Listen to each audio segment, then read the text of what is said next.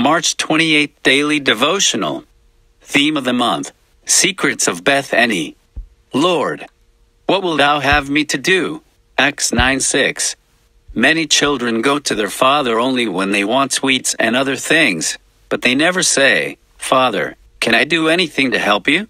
You are looking so tired and sad. Can I do anything less than your burden? Dot. There are very few of that type. Yet there are some children who look at their father's and mother's face and say, You take rest. I will do all the work. That is the right attitude. Do you say, Now, Lord, tell me in which way I can please thee and satisfy thee and give thee comfort and rest? Dot.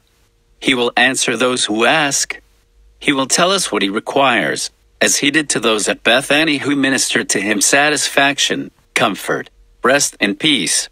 If you want to grow spiritually, our daily attitude should be Lord, I am not concerned about my own problems or needs of any kind. Please tell me, do you want me to go anywhere, or to meet anybody, or help anybody? Is there anything I can do for you which will be in accordance with your perfect will, which will give you more joy and happiness and peace? Dot. Then he will tell you where to and what to do. It is a wonderful thing to obey God, and the way he helps us to obey his will is also wonderful.